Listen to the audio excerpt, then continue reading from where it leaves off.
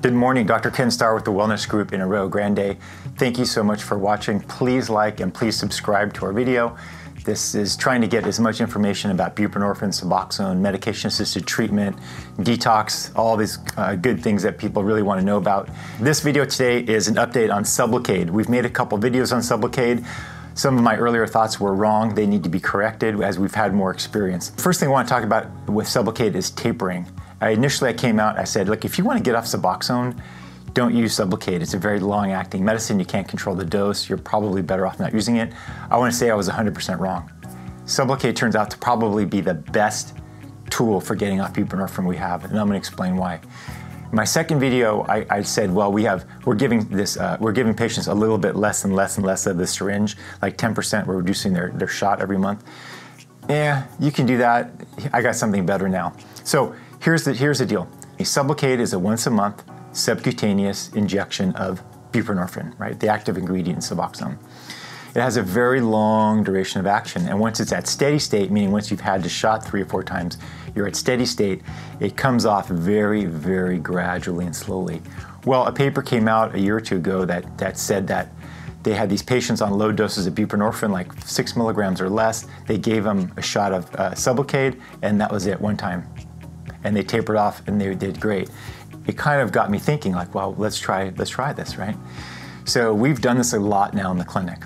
Um, patients with all, on all different doses of buprenorphine, anywhere from a milligram up to 24 milligrams, and we've had phenomenal experience about uh, you know, getting them off of, tapering them off of buprenorphine with Sublocade, and I'll explain how I do it. I would encourage you to ask your provider how they do it.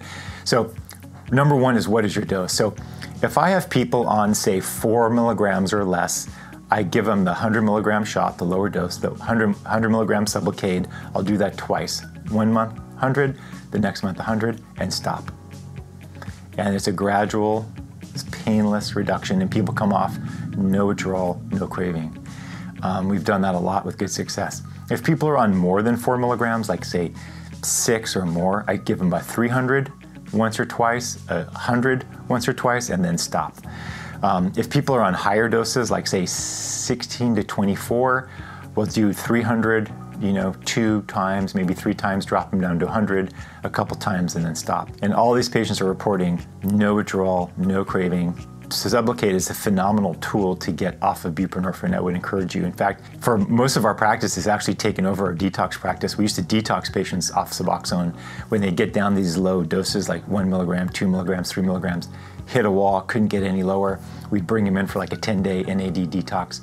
Uh, we still do that a little bit, but now I'm saying just do Sublocade a couple times and it's cheap. I mean, insurance pays for the medication.